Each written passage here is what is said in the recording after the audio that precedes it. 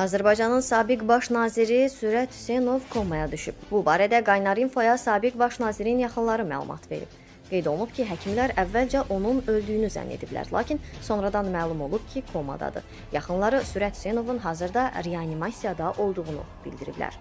Məlumata görə Moskvadan İstanbula gələn Sürət Hüseynovun təyyarədə eniş zamanı ürəyi tutub. Xatırladaq ki, Azərbaycanda qiyamçı polkovnik kimi tanınan Sürət Hüseynov Azərbaycan Xalq Cəbhəsi Müsavat hakimiyyətinin devrilməsində əsas fiqur olub.